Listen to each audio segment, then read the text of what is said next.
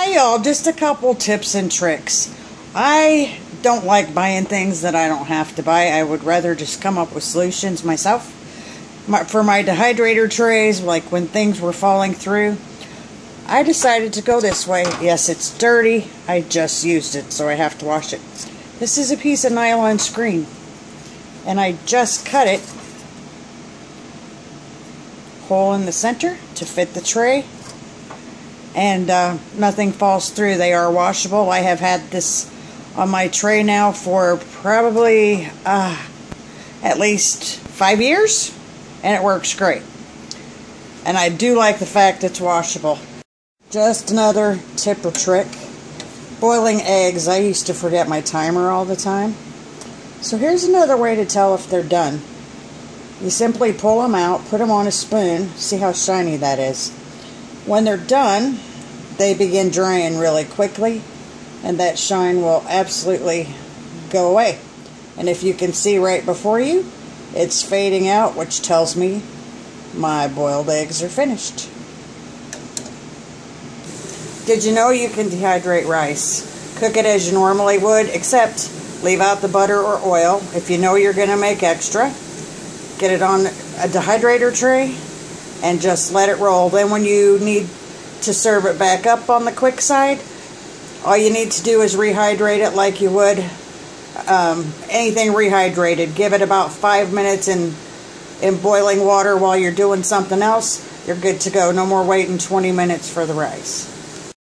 Hi y'all. Here's another one. Corn silk. You know, when you're peeling your corn on the cob.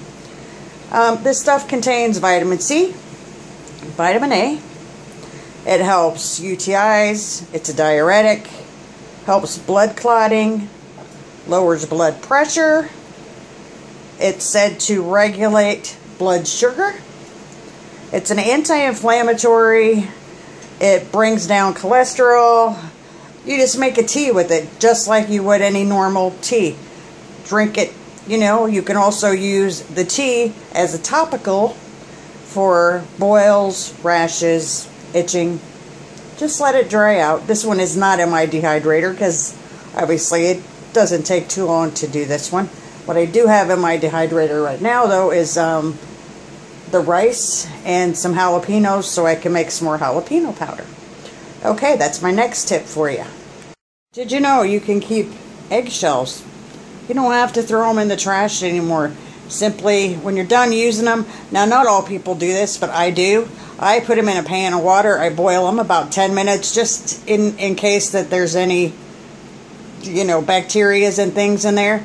Let them dry out, crumble them up, store them in a bottle. Um, you can use this for animals. You can use this for your garden. If desperate times happen to come, I would use it for me.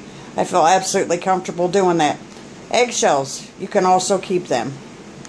Same thing goes with citrus peels. Um, I use them for my cleaning products, but I also put them in a powder form. You can add them to foods that way. Remember, it is the rind, so it is potent.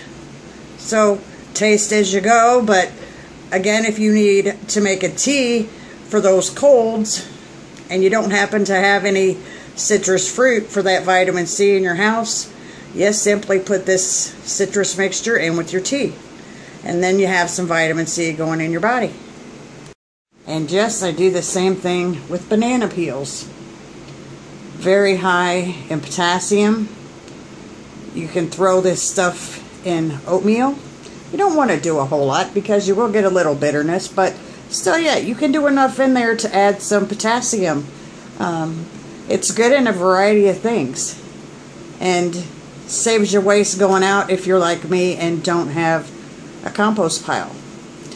That's probably all I'm going to do today, but y'all have a good day and God bless you.